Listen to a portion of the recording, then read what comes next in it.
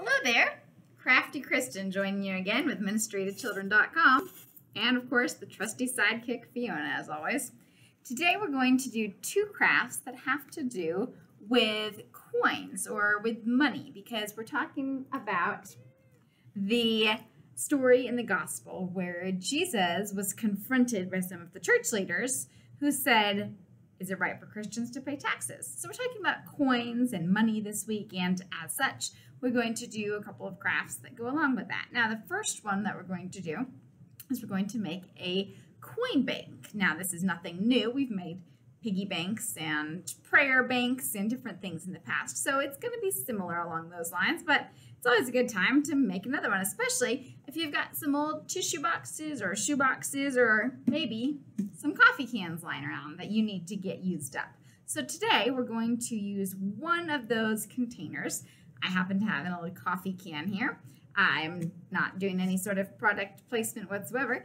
We're going to cover it right up.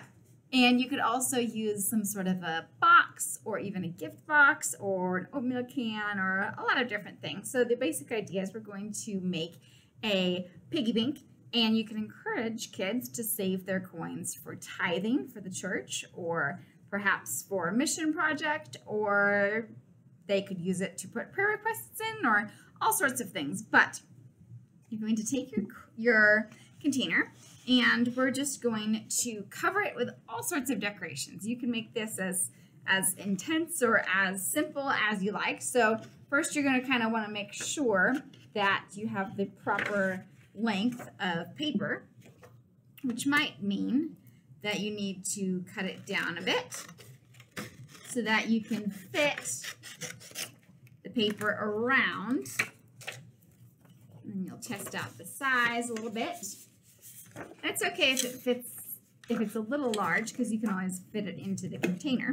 Now, before you before you do anything, you want to make sure you get rid of all the coffee grounds. Before you add your paper on, you're going to do some decoration. So this could be making some sort of a caption or a verse. You could write what you're saving up for. Um, so maybe, maybe you want to write tithing jar or tithing bank or you could say something like coins for Christ. Maybe you want to add in some fun little decorations there. Just so happen to have plenty of stickers and even some sparkly foam letters here, so maybe you're going to use one of those. Coins for Christ jar for Jesus. You can make it cutesy like that. You can add in some more decorations. You can add some sort of a goal. Maybe you're saving to go to church camp and you put a goal on there. Um, do it however you want to do it. Make it fun, make it festive, make it exciting. Um, jazz it on up. So after you've gotten all of your decorations on, you can even add more decorations once you're done. You're going to wrap this around your coffee can. And you may need to add a little bit of reinforcement. You might need to cut off a little extra piece of paper, surround it on the back. You're going to want to tape it up or glue it up. Make sure that it sticks. If you have some leftover hanging like so, you can just pop that right down into the jar or the can or whatever it is that you're using. And then prior to placing the lid back on top, you're going to poke a slit in it. So be sure you have some adult help with this so that kids aren't stabbing things into other pieces of paper or lids or plastic or whatever. Um, so you can usually get by with regular old scissors. Sometimes you may need a knife depending on what you've got in there and you're going to just cut some kind of a slit there so that you can fit whatever it is, prayer request slips, coins, dollars, checks inside. Now if you want to have some extra fun you can jazz this up even more. You can add on some ribbons.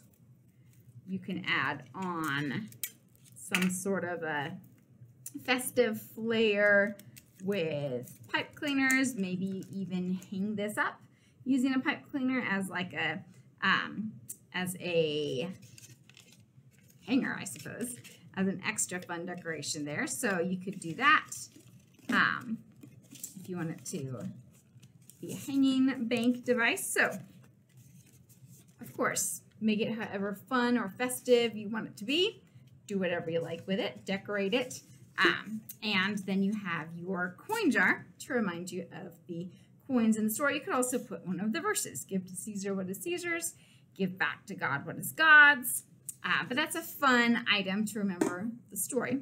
Now, item number two is going to be a little bit different, but you're going to make some sort of a coin collage or perhaps um, a cross coin collage. Now, there's a couple of ways that you can do this.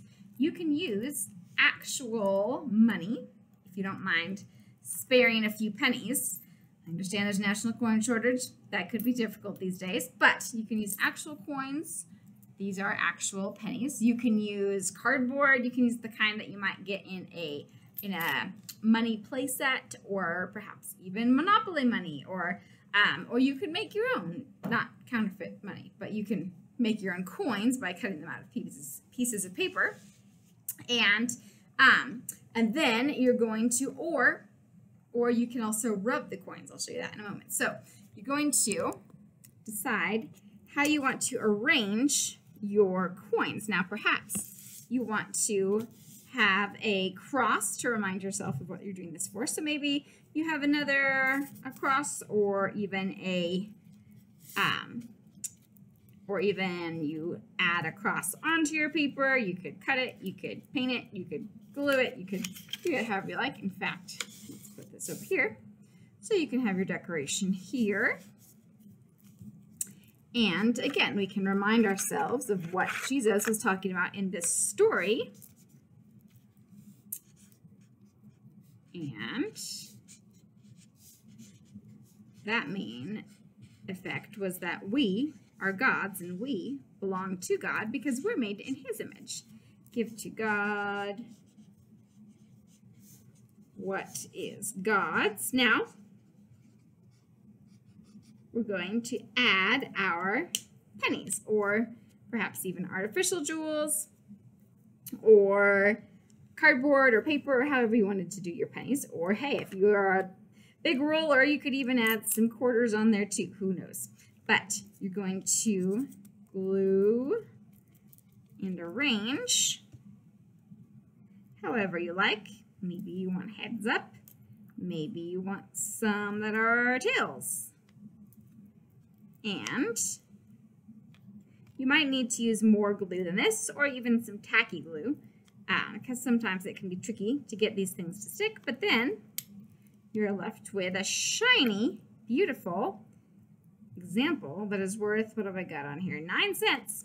And you've got your little reminder there of the story, which you are welcome to hang. Um, add some extra decoration to that, some stickers, some more verses, um, and you can hang it up to remember what we talked about there. Now there's one more thing that I'm going to show you. So we have those two main crafts, but then there are several other things that you can do with coins or with money um, one more thing that we're going to do is a coin rubbing. So what this is, is you take a piece of paper and it really works best with crayons. Sometimes you can do it with markers as well. But underneath the paper, you're going to place a coin, any kind of coin. And then, if you haven't done this before or done a leaf rubbing, I highly, highly recommend it. And basically, all that you're going to do is take a pencil or a crayon or a marker. We'll give it a go with a marker. Like I said, crayon might work better.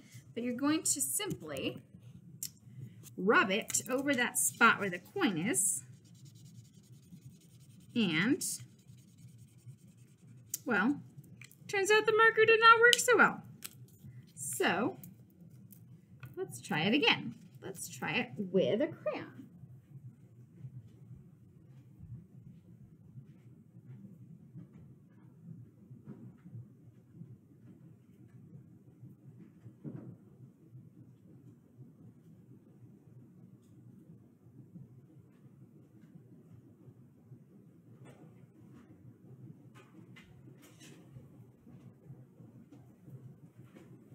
Apologies for the delay, or a colored pencil. So this is going to etch in a little bit more your image if you lightly shade it through the paper. So that's one other element that you could use. You could even just do that for the fact of having circles that look like coins. It doesn't have to be perfect, precise just to the coin that you're using.